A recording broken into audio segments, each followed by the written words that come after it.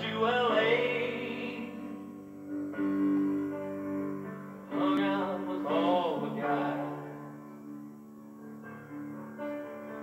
Listening to others' ideas of what it should be. He put his own ideas aside.